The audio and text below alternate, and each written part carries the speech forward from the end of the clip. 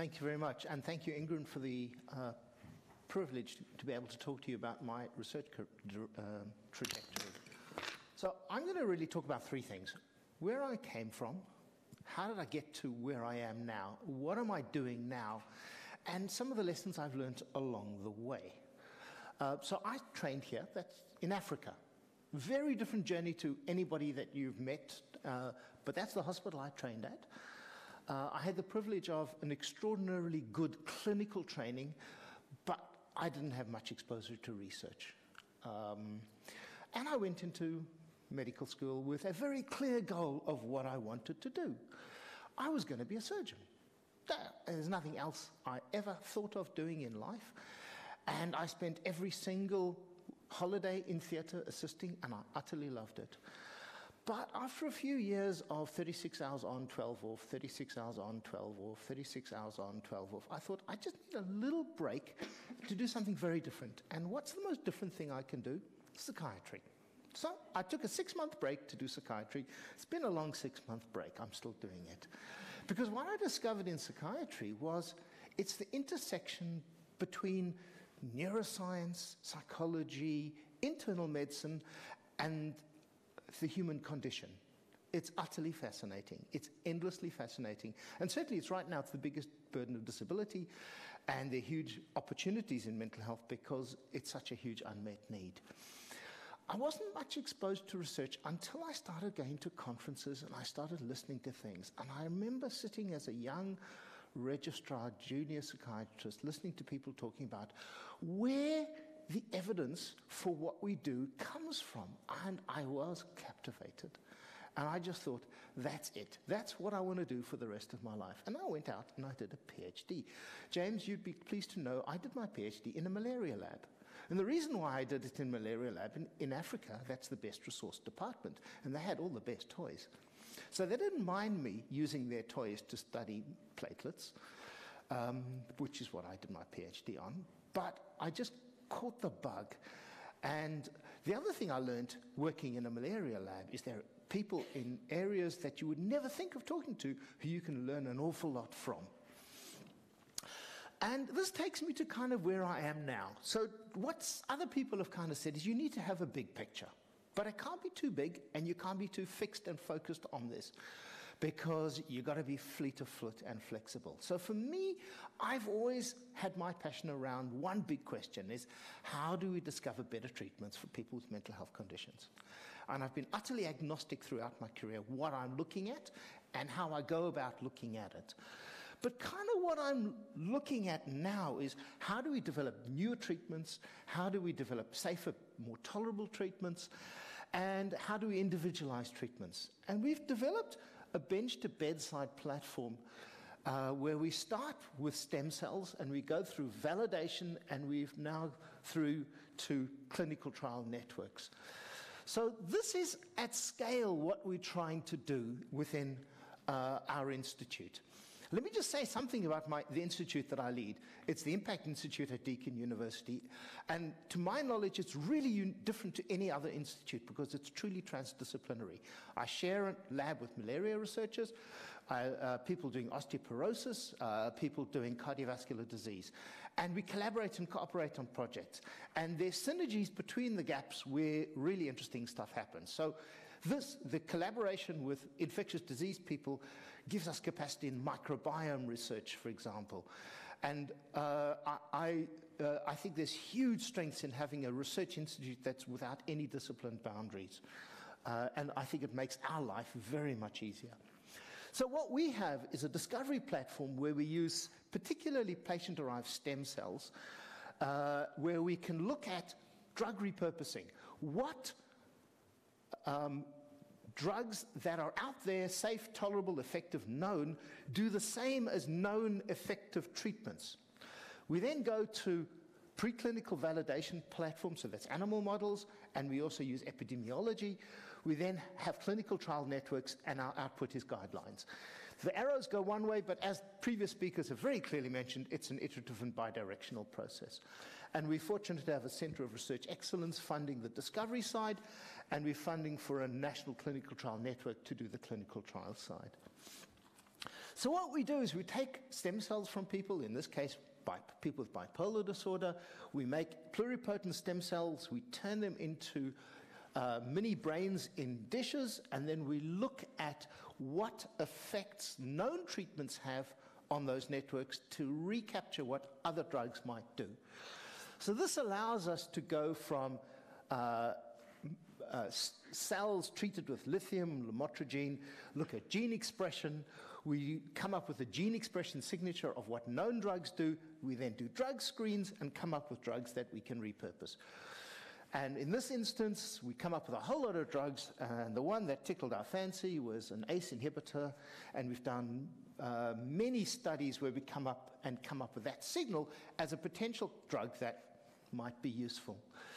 We then uh, go to animal models where we can, for example, find that angiotensin antagonists have anti-manic effects. We show that they have antidepressant effects, and because it's a disorder, we have highs and lows. That's kind of interesting. We then go to epidemiology, and we have collaborations uh, across the globe. The best epidemiology resources are all in Scandinavia. So we go and talk to our Scandinavian colleagues, and they say, yeah, if you're taking an ACE inhibitor, you have a dramatically re reduced risk of developing depression or bipolar disorder. Uh, compared to other people with hypertension taking other antihypertensives. So, wow, you know, so we now have a set of steps that takes us towards understanding what might be a candidate, and that allows us to get funding to do grants. And we now run trials. So that's kind of what I'm doing now. So, what are the lessons I've learned along the road that uh, have that I would try and share with you in terms of how you design, come up, and operationalize and um, develop your own research career and help you answer research questions. So I think there's a, I would encourage people to be researchers because I think clinicians make the best researchers. Now, my non clinician colleagues don't like me saying this, but unless you are a clinician, you don't really understand the clinical problems. And these are clinical problems that you're trying to solve. And I think researchers make the best clinicians because a good res clinical researcher knows how to understand evidence, evaluate evidence, and implement evidence. And then the clinicians, uh, uh, in, if you have that dual role, I think you're in the perfect position. The other thing I really want to share to you is there's a large body of evidence about what makes a good, satisfying career in medicine. And there are many factors that people have studied. Uh, uh, and I did a bit of a review of the literature preparing for this talk um, on the factors that are going to make you a happy doctor and things that are going to make you an unhappy doctor. So, if you have more research activity, it's the strongest predictor of a satisfying career. If you are able, if you're working in an environment where you're able to deliver high quality care, that obviously makes you satisfi uh, satisfied. Because I, I don't have to tell you there are many environments where the constraints of the system means that your clinical care is not what you would want it to be, and that doesn't make you a happy doctor. Having teaching generally makes you a happier doctor, and it gives you more career satisfaction, and working in an academic center is associated with greater career satisfaction. The more administrative load you have, the more unhappy you're going to be, the more you have work life imbalance, where work intrudes into your life, that is obviously a, a, a um, huge workload, little control over your destiny. Um, and the other thing, which comes up more in the American literature, electronic medical records. Uh, they are the bane of many physicians' lives, and they detract from clinical satisfaction. So I ask the question how often do you see an emeritus clinician? Now, academics are really interesting. They retire, but you can't get rid of them. You can't drag them out of their labs with, on horses. They come back and they just keep on doing their job unpaid. I have never seen an emergency physician retire, come back the next day and say, okay, I'm ready to start working as an emeritus emergency physician. I've never met one. Maybe you have. But that says something. Um, now, it might be reverse causation. A good scientist would ask that question. But research is fascinating. You spend your life doing stuff that you're interested in, you're passionate about, you're following your dreams. You don't always do that as a physician. Uh, persistence, persistence, persistence. What the Americans call grit, and what uh, uh, the engineers call project management.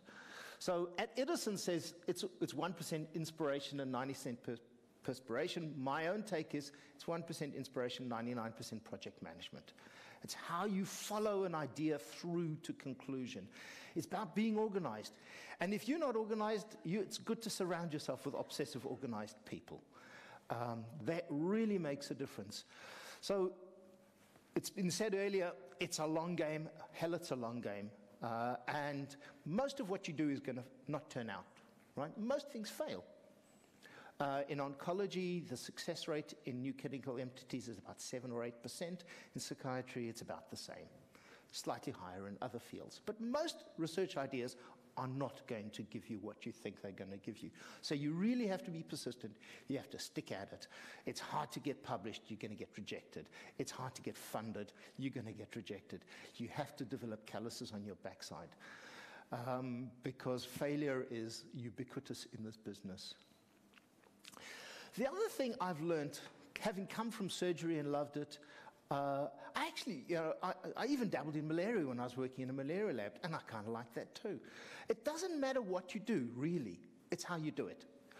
So you've got to do things with passion, with commitment, and hopefully you'll accrue some skills along the way. Uh, it's the attitude that you bring to what you do is much more important than what you do. Uh, and that, I think, is something I have learned over the, of the youngs.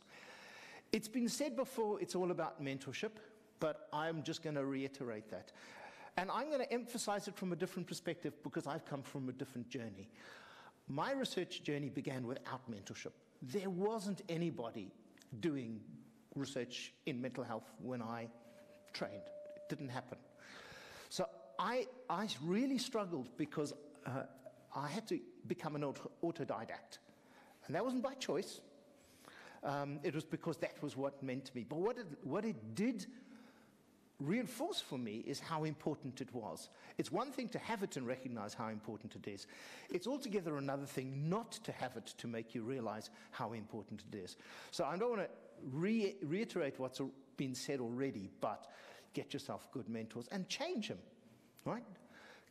Come and talk to people. We, you know, one of the things you'll find about academics, researchers, is that they really want to talk. They want to support. They're going to, the doors are generally open. So you don't be scared to come upstairs and have a chat.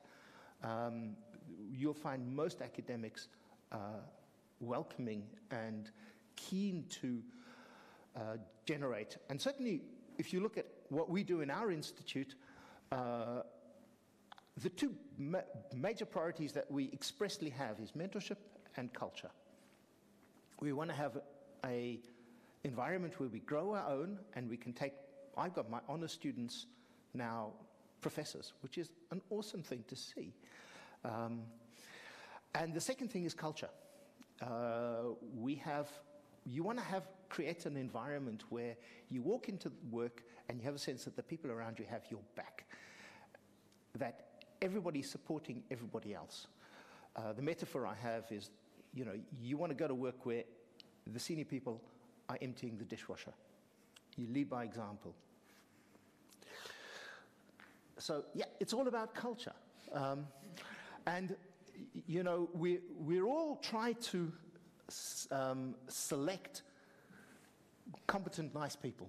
But one of the lessons, how you delete, how you, if you've, you know, you, there's this matrix between you're competent or you're not competent, and you're good to work with or you're an asshole. Um, so one of the things I have learned as an institute director is the top right-hand quadrant is very easy. Those that everybody wants to hire those. The incompetent nice guys generally survive and can be micromanaged to within an inch of their life. Um, the, the incompetent assholes are very easy, get rid of them. But the, the difficult one is the competent assholes. We all deal with people who are highly competent but are really difficult. And I thought that they were worth having, and they're not. Uh, you don't want to work with these people. They make your life difficult, and they're damaging to the other people that you work with. It's been said before, but it's really all about partnerships and collaborations. Uh, and I also want to say it's about transdisciplinary science. It's about convergence. Uh, if you, those of you who like reading scientific books, there's a wonderful book called The Medici Effect. Uh, so it's about the generation of new knowledge in the Italian Renaissance. It's how, when artists, engineers, architects, philosophers, astronomers got together, it was this convergence of, and, of cross pollination of intellectual ideas that allowed the Renaissance to flourish. Uh, don't stick in your silos. Talk to people in different areas. Talk to engineers. They think about things differently. And they'll often have ideas that you don't think about. Talk to data scientists. Uh, talk to people in business and law. Uh, you know, management consultants. They think about problems very differently. And you might not think that it's going to be useful to you, but the game that we're in is a very non-linear game.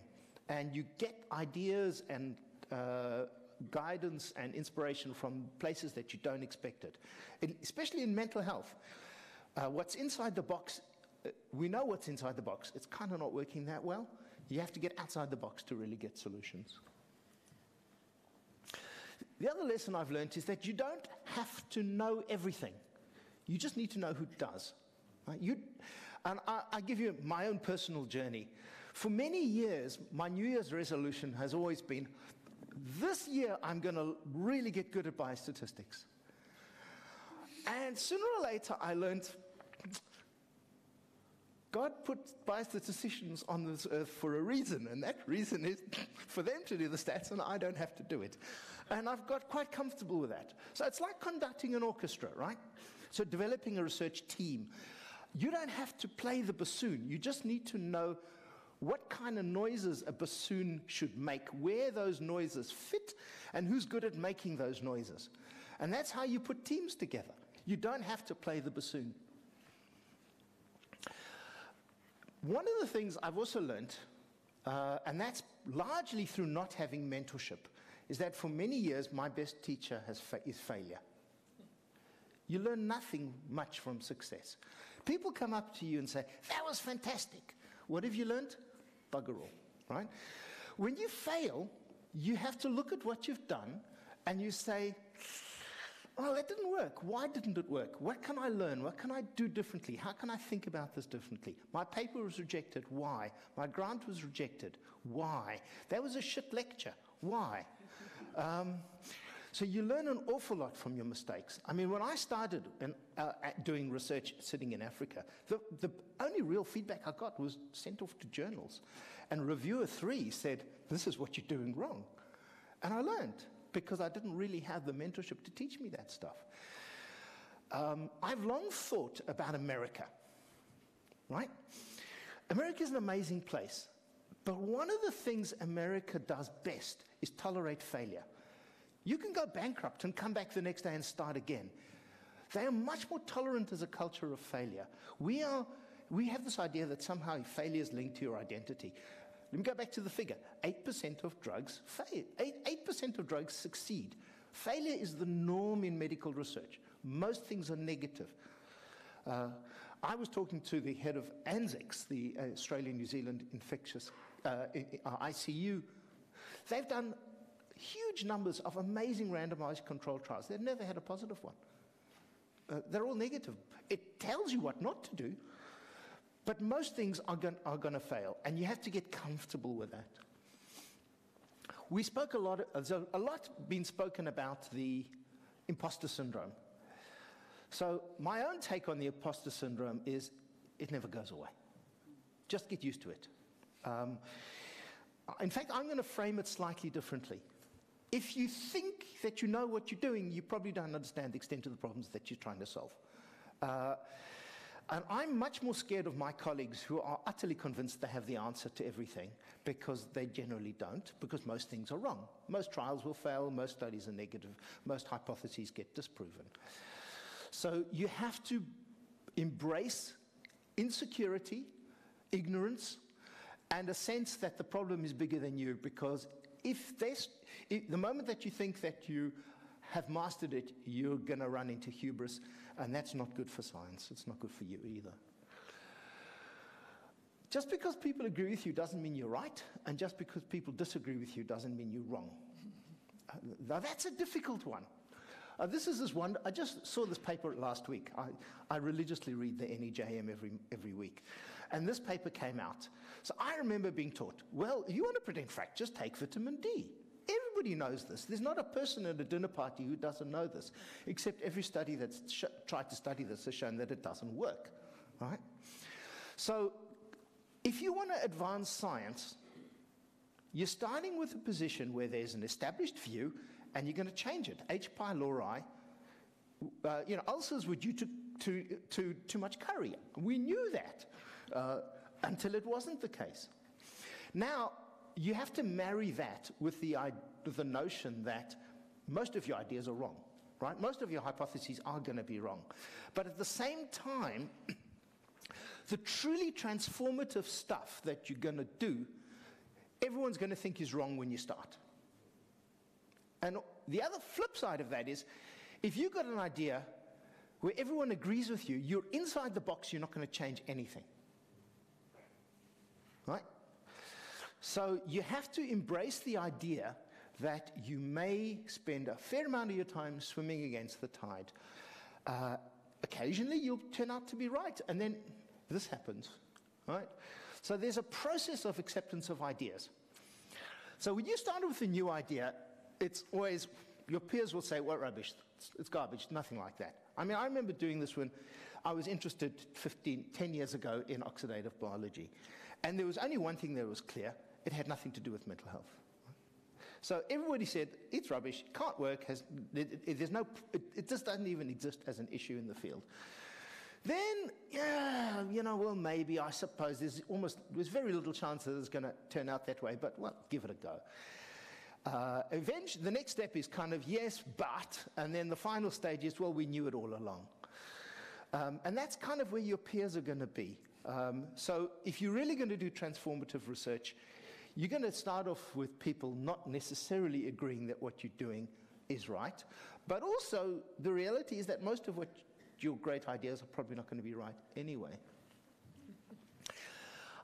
I'm going to have a slightly different view to many other people here on this question of being a generalist or a specialist. Yes, you have to have a thing, right? I'm interested in treatment. But there's a lot of work written about the being a generalist or being a specialist. What's the way to go? And the orthodoxy in science today is be a specialist. You've got to know, you've got to have a thing. Uh, I'd encourage you to read this book called Range on why generalists triumph in a specialized world. The thing about being a generalist is you have a wide angle lens, you have perspective, you have the ability to see things in context. If you only do one thing, you don't really know how it fits in a broader sphere of things. So I would absolutely encourage you to ha- have some degree of flexibility in what you do. I don't know if you've heard of the concept of the hedgehog or the fox. Um, but it's, there's, there's, a, there's a metaphor of hedgehogs and foxes, right? So the metaphor is that hedgehogs know one big thing and foxes know lots of little things. So a hedgehog is a person who spends their whole life doing one thing. This is their area. They've been banging on this one drum their whole lives. Foxes have lots of things that they jump around on. I'm a fox. I'm not a hedgehog. Uh, and one of the reasons why I have problems with people who are too hedgehoggy is that you have sunk emotional costs.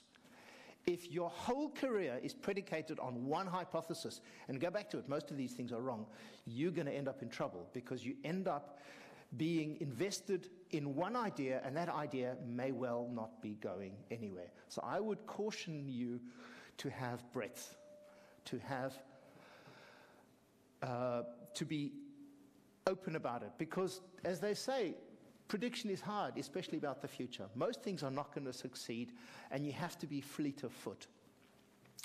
I'll also say, because of that, I have never ever been able to tell you in what I will be doing in five years' time. The project that I'm doing now, I would never have thought of that I'll be doing in five years' time because things are very, very unpredictable. Clues come from, I mean, I'm writing a grant now on chronic fatigue syndrome because work that we've done in bipolar disorder highlights a treatment that we think really might crack this condition.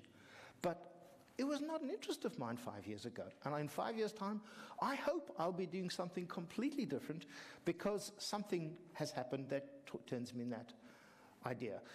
So you've always got to hold your ideas and your hypotheses with gossamer lightness because you have to be as critical of your own ideas, your own hypotheses, as your peers will be. That doesn't mean you mustn't pursue them. You have to pursue your ideas with passion, but hold them with lightness. You have to be able to get rid of them. It's like being an investor. When your stocks are doing badly, you have to be able to sell them. But the problem is when you've only got one thing, it's really hard to sell because then you don't have anything left. I, let me finish off by saying that research is very nonlinear and stochastic. It never takes you where you think you're going to do. And I'll give you my most nonlinear piece of research. So many moons ago, I was interested in, in anxiety, obsessive compulsive disorder. And this was when, when the SSRI antidepressants came along. And we were interested in developing an animal model of obsessive compulsive disorder. And we thought, eh, what animal behavior looks like obsessive compulsive disorder? And we thought, acral lick dermatitis in dogs. You know, when these dogs lick, lick, lick, lick, lick, lick. We thought, we're going to develop an animal model of OCD. So we thought, how do you prove it? Well, you do a clinical trial, give dogs placebo or fluoxetine, put it in a sausage, because if you put the pill inside a sausage, it'll disappear. Give it to the dogs, get vets to rate the photographs. Well, I don't have to tell you, we don't use this as a model of OCD. Never took off, but it's now veterinary treatment. Uh, we had no intention of developing a veterinary treatment. We, had, we were not interested in animal behavior as a clinical problem, but that's where it ended up as a veterinary treatment. So research is very nonlinear. You never know where you're going to end up based on where you started, where you're starting from. And my journey has taken many zigs and many zags on the way. But you've got to still have a blue sky vision. You still have to have a big picture of what gets you out of bed in the morning. And the beauty of research at an existential level, I mean, in the end, life is finite, right? You want to, and when, you, when we all shuffle off, it's not going to be how much money you got and you know, how many holiday houses you got. It's going to be what contribution you have made to the world. And research uniquely gives existential meaning. It allows you to say, I have contributed something to the greater benefit of mankind that I leave behind some kind of a legacy that is bigger than me. Uh, if we're successful. Most of us aren't going to be successful, but we can at least give it a good, hot go. Thank you.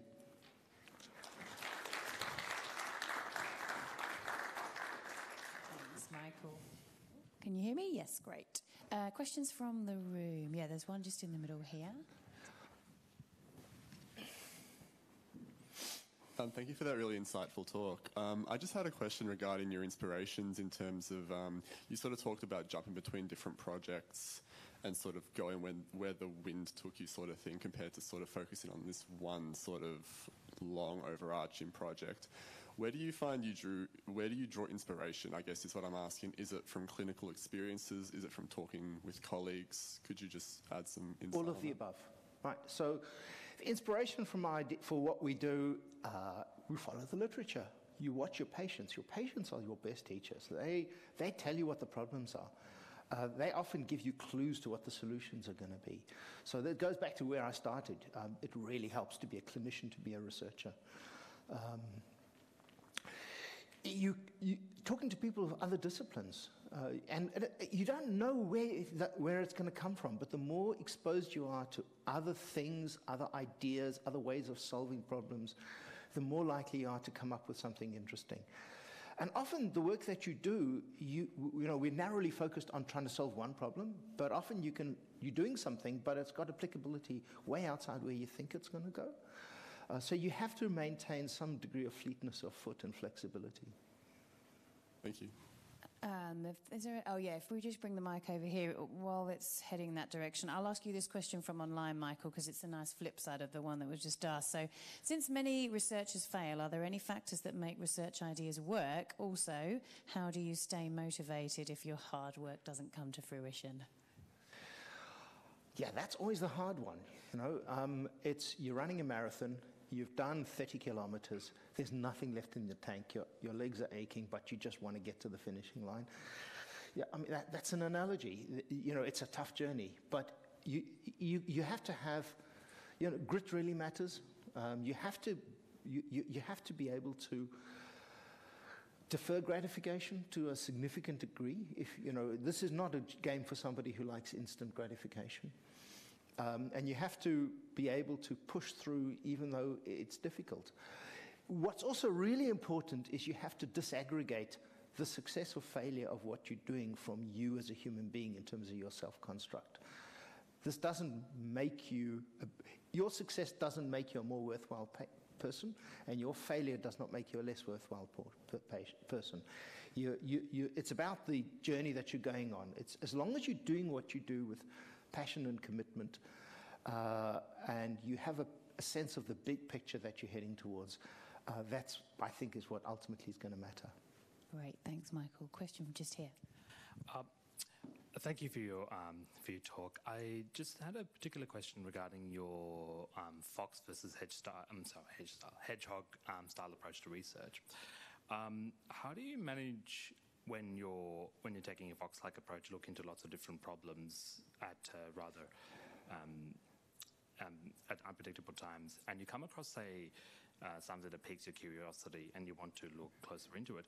How do you manage to secure the funding needed to look quickly into that particular in, into that particular problem if it did pique your curiosity, given the give, given the fact that these problems may not at first glance look connected to one another? Wow, that is a complicated question. Well, there are many ways you can do this. The first thing is through partnerships. So when I'm looking into a new area, the first thing I do is I go and talk to who else is good in this area, who knows what they're talking about. Um, you, you also want to uh, look at what other resources are out there. Um, so collaborations and partnerships are, are key.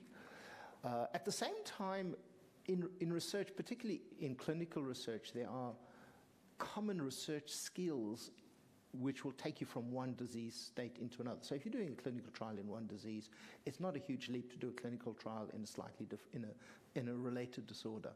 And so a, a lot of this then comes up. Uh, a lot of this is you know talking essentially about grant writing. I think you're talking about because uh, then it's about how you, need, you weave an argument about the need, the capacity that you have, the idea that you've got, the partnerships that you've got, and that you've now gone on this journey which allows you to be in a position of how you, of competitiveness to solve this question, especially if it's an unmet need, especially if it's your solution is novel or innovative, you're in the game.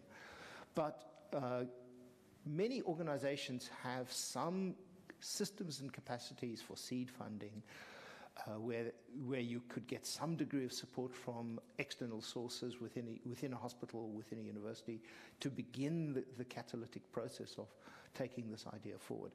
But you've highlighted a really complex problem. Getting resources to take new ideas where you new in the field, that's often very difficult. And sometimes you start by building up a track record, working under the, the wing of somebody who's got resources and capacity on a related project, and then you can move to independent research as you've developed a track record and a capacity of your own. But it's, a, it's, a not, a, it's not a simple journey, and there's no one recipe. Great, thanks. And just, oh yeah, uh, next door to you there. Uh, very good talk. Thank you so much for that. Um, my question is about mentorship. As someone who wants to be a fox and not a hedgehog, I find myself surrounded by a lot of hedgehogs, and I'm uh, curious as to uh, what your experience is when, when, you're looking to be a fox. Should you try and seek out a multitude of mentors that are hedgehogs, or a single mentor that is a fox, basically? Well, I think the mathematics is many hedgehogs make a fox. and look, the thing about mentorship is that you'll get a great mentor for one issue or one area who might not be a great mentor in another issue or in another area. So I'd encourage you to get have serial mentors in different areas around different issues. So some people might, uh, uh some people I know are fantastic at creative, out of the box, crazy ideas, but they're chaotic.